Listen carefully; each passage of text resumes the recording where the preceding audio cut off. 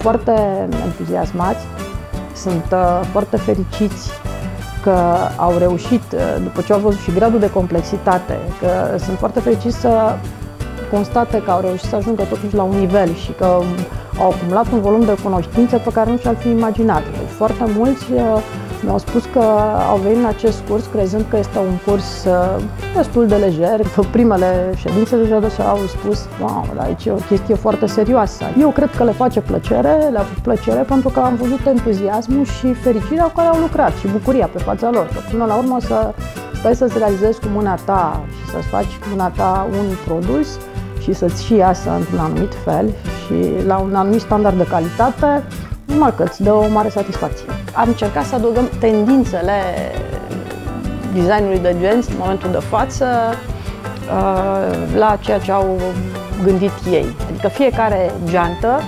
uh, din acest proiect este încadrată într-o anumită direcție a unei tendințe.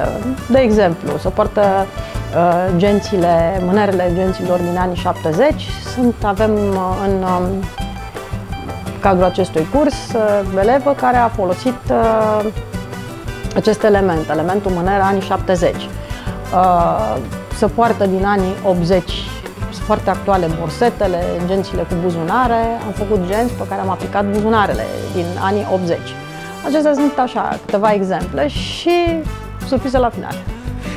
În primul rând, oamenii care se înscriu la acest curs, cea mai mare parte vin cu gândul de a-și face un business în domeniu. Pentru că, până la urmă, ei plătesc acest curs și asta este interesul. O parte din ei vin să facă acest curs și că, așa, ca un hobby, să zic.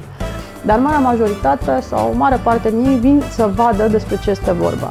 Când ajung aici își dau seama că este mult mai complex decât și-au putut ei imagina vreodată acest domeniu. Deci, uh, partea, deci toate își dau seama de uh, volumul de cunoștințe tehnice pe care trebuie să le aibă, de uh, complexitatea unui, unui tipar, de uh, cunoștințele de matematică pe care trebuie să le ai ca să poți să proiectezi geanta care e o geometrie în spațiu transpusă în plan, uh, apoi trebuie să realizează și uh, informația pe care trebuie să o aibă referitor la designul de genți, la brandurile, toate brandurile care există și care sunt modelele lor, lor recunoscibile, pentru că nu poți să pleci din start făcând niște genți care deja le fac alții și pe care toată lumea le cunoaște și atunci uh, trebuie să ai și o cultură în acest uh, domeniu, în acest uh, sens.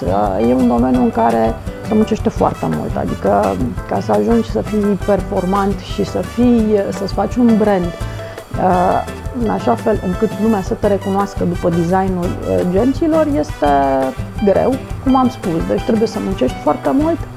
Uh, fiecare geantă este un uh, caz particular în funcție de modelul pe care vrei să-l faci, trebuie să știi să adaptezi materialele, tipul de piele, să știi construcțiile de geantă, cum îți arată cel mai bine geanta, cum să transpui acel desen în realitate, în așa fel încât să obții uh, practic cel mai bun produs.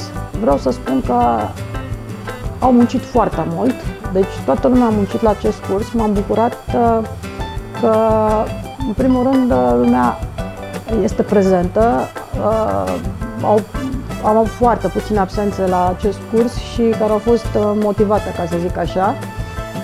Uh, și toată lumea a reușit să-și facă tipar, adică nu există persoană de la curs care nu și-au făcut carcasa, care nu și-au făcut tiparul și care să nu fi muncit uh, la acest uh, proiect.